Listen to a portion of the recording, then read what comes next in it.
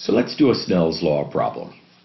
So in this problem we say a ray of light is incident on a block of crown glass at an angle of 31 degrees and what is the angle of refraction? Pretty straight up standard Snell's law problem. To start off, let's just draw it.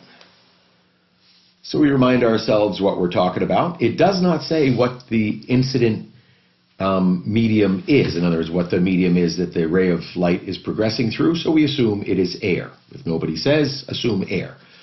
And that would be 1.00 for a refractive index.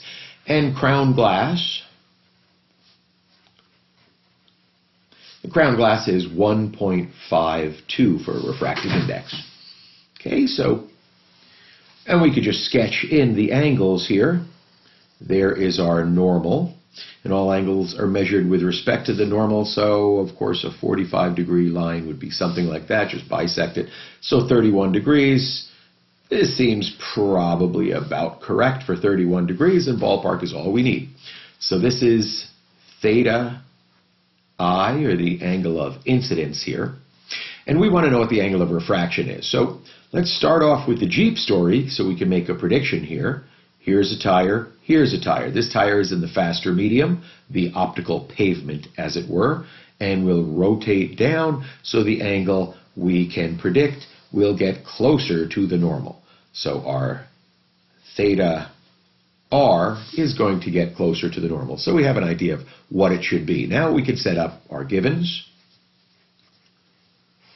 And we have n1 equals 1.00 and theta 1 or theta i equals 31 degrees. We know our n2 is equal to 1.52 and our theta r is the angle that we are seeking. So the formula, of course, Snell's law formula, n1 sine theta 1 equals n2 sine of theta 2 rearrange that. So to get the sine of theta 2, we take all this and just divide it by n2. Rewriting, we have sine of theta 2. Now remember, this is not the angle. This is the sine of the angle. So to find that, we're going to have to take the inverse sine on the calculator.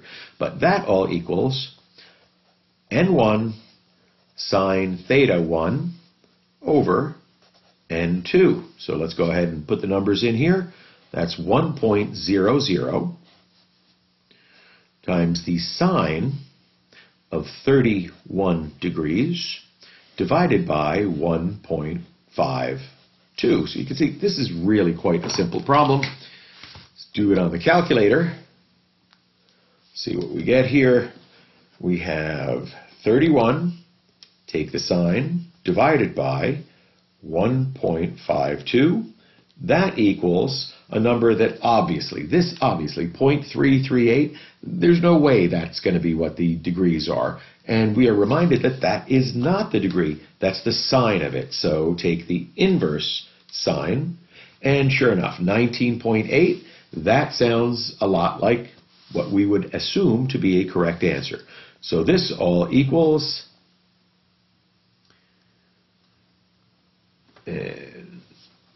19.8 degrees. That's good enough there.